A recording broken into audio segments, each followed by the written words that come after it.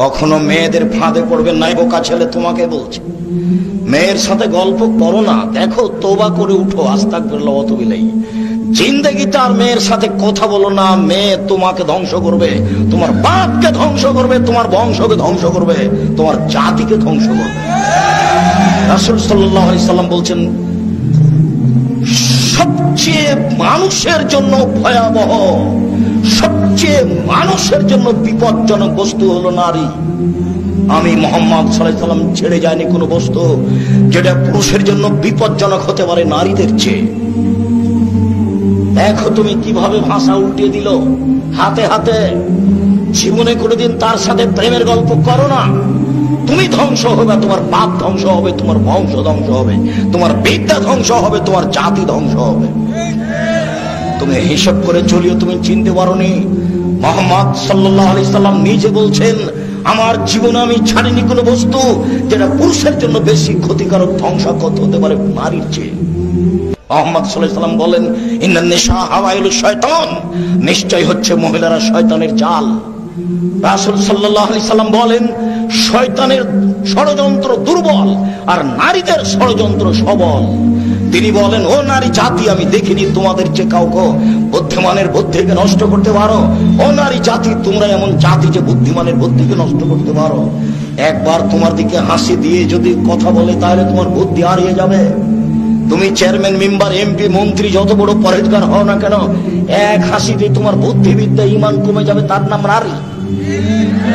তুমি এটা বিবেচনা করি উপস্থিত বৈঠকের মুসলিম বোন আপনাকে আমি ঘৃণা করতে আসেনি। নারী আয়েশাও, নারী খাদিজা রাজি আল্লাহ তালানহাও ওই যে ওই যে ওই যে ওই যে খাদিজা তার হাতে একটা বাটি আছে তরকারির শুনেন, খাদিজা আপনার কাছে আসলে আপনি তাকে বলবেন, খাদিজা, জি আল্লাহ তোমাকে সালাম দিয়েছে, খাদিজা। জিব্রাইল তোমাকে সালাম দিয়েছে। তোমার জন্য জান্নাতে একটা ঘর বানানো হয়েছে, খাদিজা। হীরা মুক্তা মানিক্য দিয়ে, যেখানে কোনো হইচই নেই। খাদিজাও তো মহিলা। আপনাকে খাদিজার মতো মনে করি। তো শয়তান কে হচ্ছে যে আপনার পাশে বসে আছে। দেখেন, ওর ছোটবেলাও ওর স্বামী নাই, ওর বাপ নাই। ও বাপ ছাড়াই দুনিয়াতে এসেছে। ও স্বামী ছাড়াই দুনিয়াতে চলে। হিসাব, আপনি আমার দিনই বোন, আপনাকে আমি ঘৃণা করতে আসিনি। আমি আপনাকে আমি শয়তানের চেয়ে খারাপ বলিনি। তবে আপনার পাশে একজন মহিলা বসে আছে, আপনি দেখেন, তার পেট দেখা যায়, তার পেট দেখা যায়, তার অঙ্গ প্রত্যঙ্গ দেখা যায়, ও কি মনে করে, আর ভাব নাই নাকি? বাপ দুনিয়াতে এসেছে। কা পুরুষ ওটা তো আপনারই মেয়ে তবু আমি দেব। আপনি জান্নাত কিনে নিয়েন, জান্নাত পড়ে আছে। মোহাম্মদ সাল্লাম বলেছেন, তিন শ্রেণির মানুষ জান্নাতে যাবে না, তার মধ্যে আপনি আছেন। মোহাম্মদ সাল্লাম বলেছেন, তিন শ্রেণির মানুষ কখনো জান্নাতে যাবে না, তার মধ্যে আপনি একজন। আপনি হচ্ছেন দায়ুষ ওই মেয়ে আপনার। আপনি হচ্ছেন স্বামী, ওই বই আপনার, যার পেট দেখা যায় যার পেট দেখা যায়, যার হাত দেখা যায়, যার মাথার চুল দেখা যায়। এখনও বসে আপনার মেয়ে প্যান্ট পরে এখন এখন বসে আছে। কাপুরুষ কি দেখাচ্ছেন আপনি। কষ্ট লাগে? ব্যথা লাগে? ব্যথা লাগে কেন? আপনাকে আমি মুসলমান মনে করে মনে করছি, বলছি।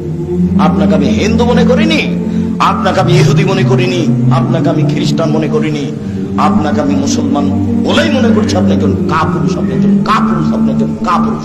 আপনার বিবাহ করা ঠিক হয়নি, আপনার বিবাহ করা ঠিক হয়নি, আপনার বাপ হওয়া ঠিক হয়নি আপনার বাপ আপনার বিবাহ দিয়েছে বইয়ের কাছে চলে গেছেন চাই ছেলে মেয়ে এর নাম বাপ নয়, ক্ষমতার নাম বাপ। নীতির নাম মা, ক্ষমতার নাম স্বামী। চোখ যেভাবে ঘুরে, বউ সেভাবে চলে, তার নাম ক্ষমতা। চোখ যেভাবে ঘুরে, বউ সেভাবে চলে, তার নাম ক্ষমতা। তিন শ্রেণির মানুষ জান্নাতে যাবে না, তার মধ্যে আপনি একজন আছেন। তিন শ্রেণির মানুষ জান্নাতে যাবে না, তার এক শ্রেণির মানুষ হচ্ছে রাজার জমিনের নিশায়।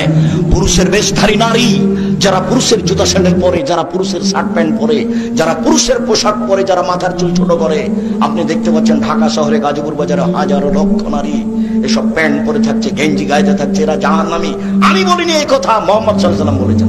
আমার বলার কি আছে? তিনি সাড়ে চোদ্দশো বছর পূর্বে বলেছেন, আমি তার অনুবাদক।